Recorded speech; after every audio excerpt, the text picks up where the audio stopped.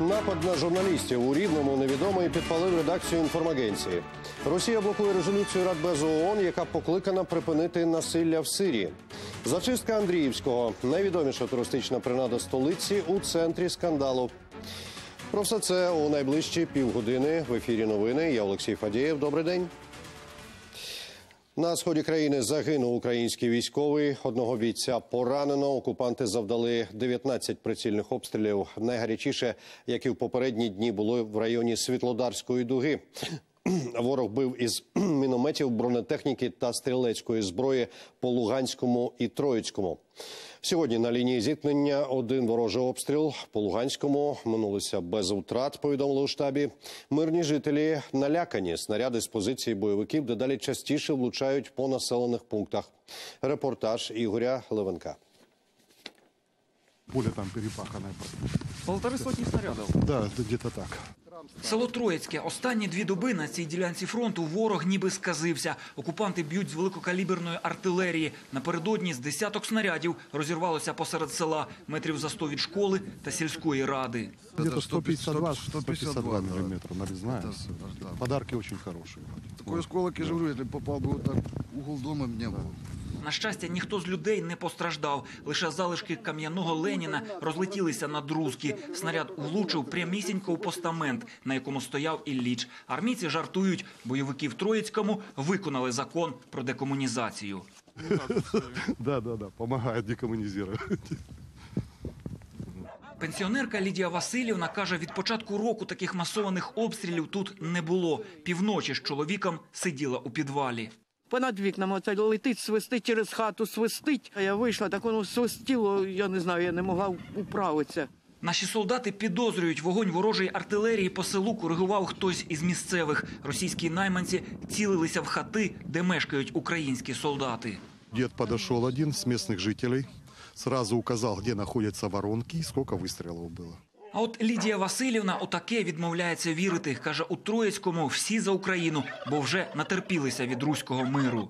Всі за Україну, того що ми тут проробили, ми тут пенсію отримуємо, нас тут обезпечують, як і продукти возять, і он дров дали, і угля. Так що не знаю, я не чула таких, щоб хтось обіжався. Наша лінія оборони розташована за селом. Солдати ще не встигли позбирати хвостовики від ворожих мін. Це докази брутального порушення бойовиками мінських угод. Так точно, это ж не заточка для карандашей. А чого це? 120 мина. Унаслідок обстрілів бойовиків двоє наших солдатів тут зазнали поранень. Їх доправили до шпиталю. Армійці порадили нам швидше залишити ці позиції. Ігор Левонок, Андрій Костюк, Сергій Байдала. Новини телеканал Інтер. У держдепартаменті США закликали Росію погодитися на розгортання миротворчої місії ООН на Донбасі. Про це під час брифінгу заявила речниця відомства Гізер Ноєрт. Вона зокрема наголосила, що РФ має змусити своїх найманців припинити вогонь на сході України і вивести звідти своїх військових та техніку. Нагадаю, Київ виступає за розміщення контингенту блакитних касок на всій окупованій території Донбасу, включно з непідконтрольною Україні ділянкою кордону з Росією. Відповідне звернення до Росії поширило у Твіттері повідомлень е, у повідомленні у Твіттер посольство США в Україні. Вашингтон обурений фактом убивства української медсестри унаслідок обстрілу проросійськими бойовиками ще два дні тому. Це ще раз нагадує про те, що конфлікт не вщухає. Йдеться у повідомленні. Сполучені Штати закликали Москву цитую наказати своїм підручним силам виконувати повне припинення вогню. Йдемо далі. У Чернігові затримали чоловіка, який керував антиукраїнськими групами в російських соціальних мережах. На цих сторінках зловмисник розміщував матеріали з закликами до повалення конституційного ладу, вихваляв терористичні угруповання бойовиків і поливав брудом збройні сили України. Тепер слідчі намагаються встановити його спільників. На Львівщині під час навчань загинув прикордонник. Трагедія сталася на полігоні кінологічного навчального центру в місті Великі Мости. Чоловік загинув на місці під час стрільби із ручного протитанкового гранатомета. Слідчі встановлюють усі обставини трагедії. Напад на журналістів у Рівному напередодні невідомий підпалив там офіс інформаційної агенції Четверта влада. В обласній поліції повідомили деталі. До будівлі увійшов чоловік з двома ємностями з бензином і підпалив їх. На момент пригоди у будівлі перебували працівники агенції. Побачивши вогонь, вони кинулися його гасити. Втім, через густий дим самостійно впоратися з полум'ям їм не вдалося. На місце прибули оперативники, кінологи, надзвичайники та вибухотехніки. Ніхто не постраждав. Журналісти пов'язують напад зі своєю професійною діяльністю, адже агенція розслідує факти незаконного будівництва, захоплення земель, випадків корупції, зокрема в навчальних закладах. Поліція попередньо кваліфікувала справу за статтею умисне пошкодження майна. страшно було, що так ти працюєш, ну, намагаєшся робити життя в цьому місці таким справедливішим, щоб було менше корупції. А тут такі недоброзичливці намагаються цьому перешкодити, і при тому ставлячи під ризик життя ну, не- тільки нас, дорослих, а тут поруч мої діти знаходяться. П'ятьох людей, серед них і дитина, врятували з полум'я вогнеборці з Хмельницького. Пожежа спалахнула на третьому поверсі однієї з п'яти поверхівок. Двох постраждалих із незначними опіками та отруєнням димом доправили до лікарні. Зараз вони у задовільному стані. Посеред білого дня напередодні в центрі Тернополя невідомий кинувся з ножем на колишнього депутата міської ради. Той саме прямував до школи разом із сином. Нападник підбіг до чоловіка, вструмив йому в ногу ножа і утік. За словами медиків, поранення досить глибоке, пробита артерія. Потерпілим виявився скандальний колишній депутат міської ради Ігор Турський. Його буквально місяць тому міська виборча комісія позбавила мандату. По прикметах е, злочинця е, зорієнтовано всі наряди поліції, е, здійснюються пошукові заходи щодо затримання злочинця.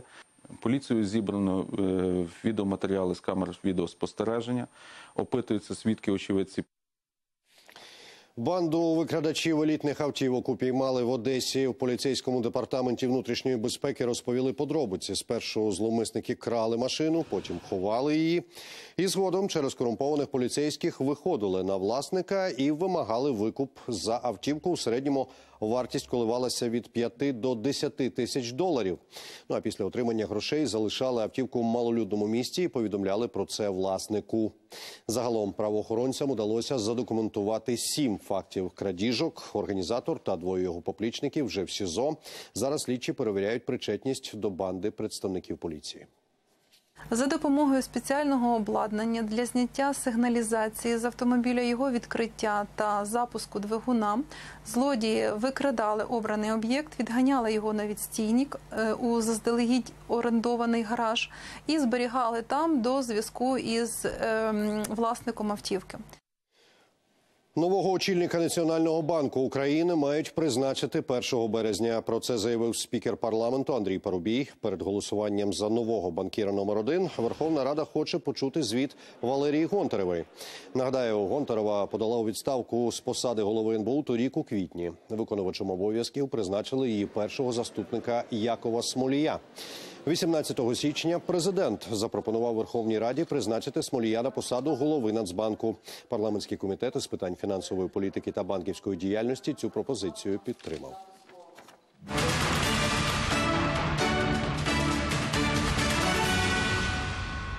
Рада безпеки ООН сьогодні вдруге голосуватиме за проект резолюції про 30-денне перемир'я та припинення вогню у Сирії. Напередодні документ, який дозволив би поставити гуманітарну допомогу та еваку- евакуювати мирне населення з окупованої східної гути, заветувала Росія. Для ухвалення необхідні 9 голосів за і жодного вета з боку е, постійних членів Ради безпеки ООН – Росії, КНР, США, Великої Британії і Франції. Нагадаю, з 18 лютого у східній частині сирійської оази Гута внаслідок потужних авіаударів з боку проурядових військ, підтримуваних РФ, загинули щонайменше півтисячі людей. Східна Гута це передмістя Дамаска. Це один з останніх районів, які утримують повстанці. Понад чотири роки територія перебуває в облозі. Російські винищувачі Су-57 у Сирії ускладнять роботу американських військовиків, заявив генерал військово-повітряних сил США Майкл Холмс. Раніше російські змі повідомили, до Сирії прибула партія надсучасних літаків Су-57. Їх розмістили на базі ВПС Хмеймім. На думку експертів, до таких заходів Кремль удався у відповідь на атаку сил коаліції на так званих найманців Вагнера. Ті намагалися захопити нафтопереробний завод неподалік міста Дейр-ез-Зору. Втім, були повністю ліквідовані ударами з повітря. Авіастрайк у Франції в аеропорту Шарля де Голля у Парижі скасували чверть усіх рейсів. Сотні працівників від пілотів до диспетчерів не вийшли на роботу. Натомість пройшли з протестами вулицями столиці. Головна їхня вимога підвищити зарплатню бодай на 6%, бо в країні інфляція. Громадяни ЄС масово виїжджають з Великої Британії. Лише торік Альбіон залишили понад 130 тисяч. Це рекорд за останнє десятиліття. Здебільшого європейців лякають обмеження прав, про які британський уряд заявив одразу після початку Брекзиту. Передусім йдеться про отримання громадянства та робочі візи. Нагадаю, Велика Британія остаточно вийде зі складу ЄС навесні наступного року. Зимова олімпіада Пхьончхані добігає кінця. Вже в неділю ігри урочисто закриють. Переможці та призери привезуть до е, привезуть із південної Кореї свої нагороди. А туристам теж буде що згадати. Чим, окрім змагань, запам'ятається Пхьончхан 2018 Про це у наступному сюжеті. Фестиваль зимової риболовлі південнокорейці влаштовують щороку, і навіть Олімпіада не відтіснила на другий план традиційної розваги. Фестиваль вирішили не скасовувати, а навпаки, скористатися нагодою і навчити туристів, як ловити рибу. Це так чудово. Я люблю ловити форелі. Тут для цього найкраще місце у світі. Зловити форель насправді тут вдається далеко не кожному і не так швидко, як хотілося б. Здалеку рибалки мають, м'яко кажучи, дивний вигляд. Вони довго сидять навколішках над ополонкою, ніби моляться або чаклують. А коли вдача таки посміхається, ладні цілувати свою здобич. Мене справді дуже заворожив сам процес. Я прочитала про фестиваль в інтернеті і вирішила сама прийти і спробувати. Свій вилов можна приготувати прямо на фестивалі. Рибу можна запекти або посмажити на грилі, а смачний перекус підігрівають музикою.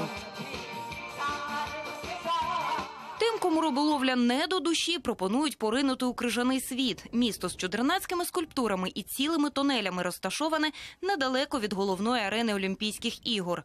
На створення цієї зимової казки пішло 10 тонн крижаних блоків. Особливо яскраве місто скульптур увечері, коли підсвічується різними кольоровими променями.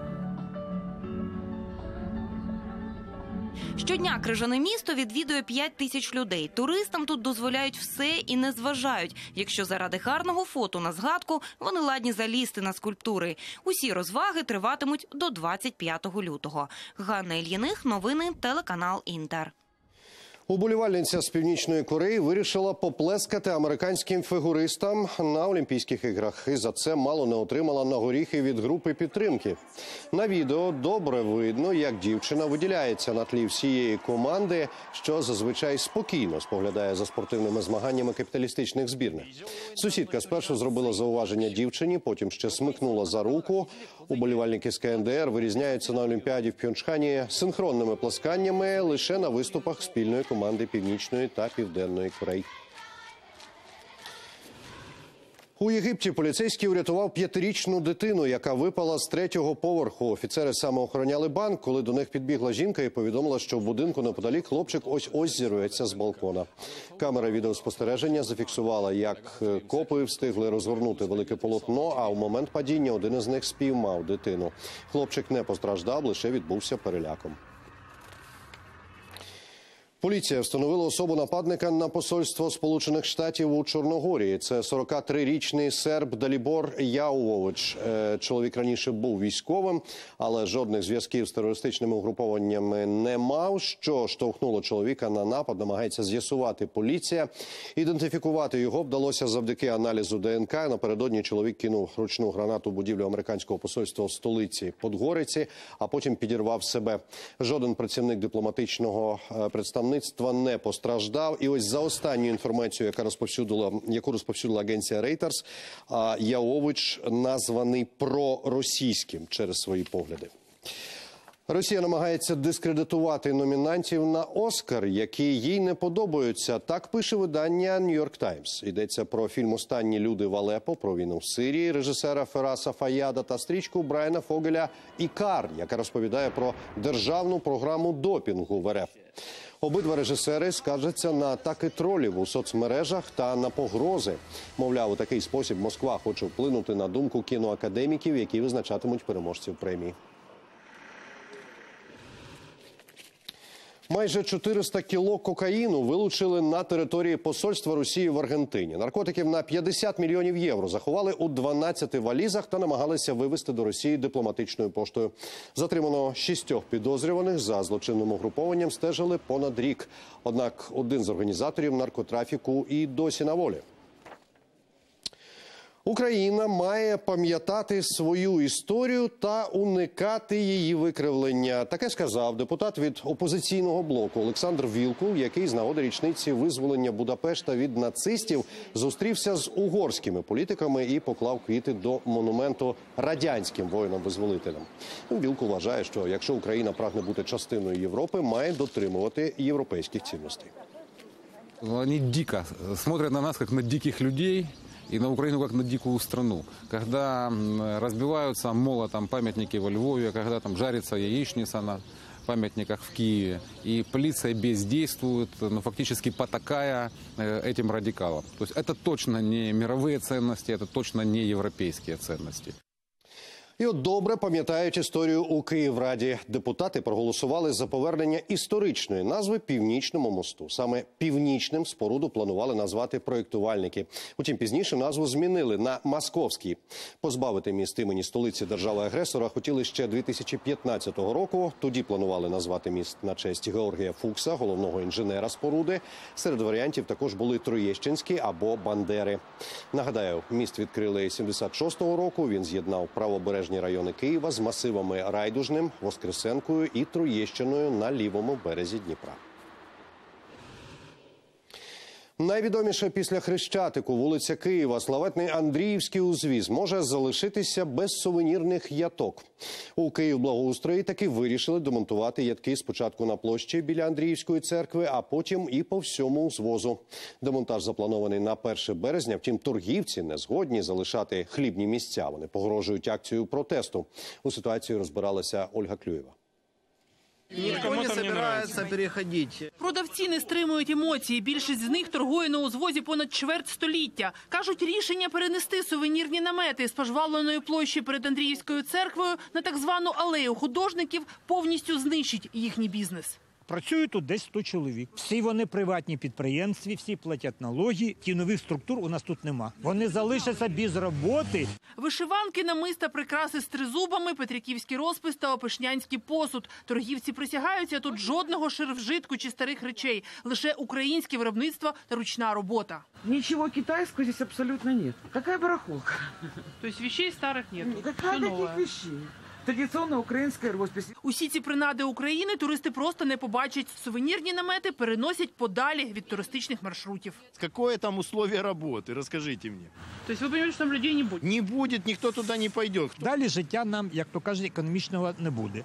На руках у продавців пакети з документами. Тут і квитанції на сплачені податки, і затверджені мерією пропозиції з естетичного облаштування торгівельних місць, і навіть договори на оренду землі на узвозі. Мы продолжаем платить аренду земли на, добровольных, э, на добровольной основе. Каждый месяц э, порядка 12 тысяч гривен мы, мы перечисляем э, в э, бюджет. Активісти налаштовані рішуче кажуть, якщо столична влада не дослухається аргументів, самі фізично не допустять демонтажу своїх наметів. Придет техника, будем на технику прыгать. Что ж делать?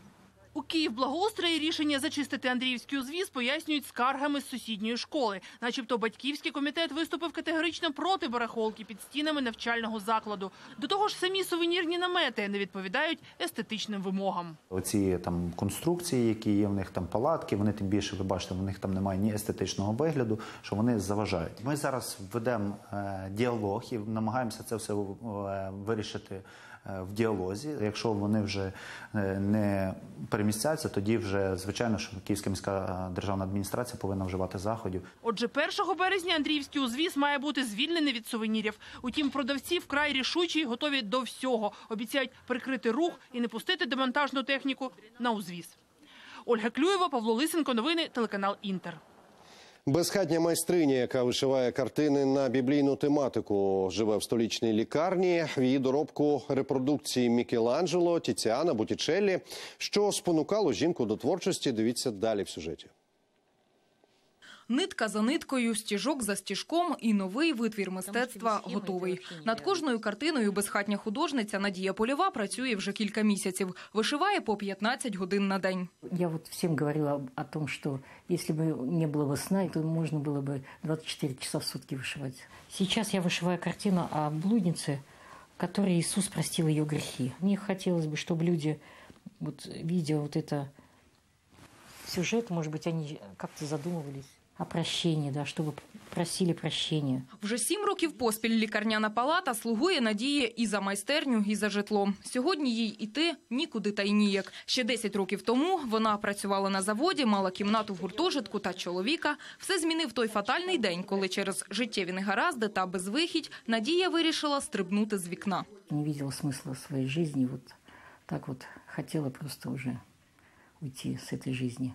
Но видите, по милости Божией я осталась жива, и это чудо произошло в моей жизни. Після невдалої спроби самогубства були ще дві. Аж поки жінка зрозуміла, Богу потрібно, щоб вона жила. Я тогда три года вообще не вставала, была лежачая. Стали м, хорошие люди меня посещать и принесли вот мне как-то один раз репродукцию вышивания. И вот мне показали буквально два стежка, и с тех пор у меня пошло вот это вот такое желание, такое как бы, ну, любовь к этому делу. У її доробку 24 картини, усі на біблійну тематику. Сюжети бере зі святого письма. Самый драгоценный дар – это жизнь. Поэтому я вот в честь вот того, что мне Господь подарил, оставил мне жизнь, я вот в Его славу решила посвятить вот Ему свои картины.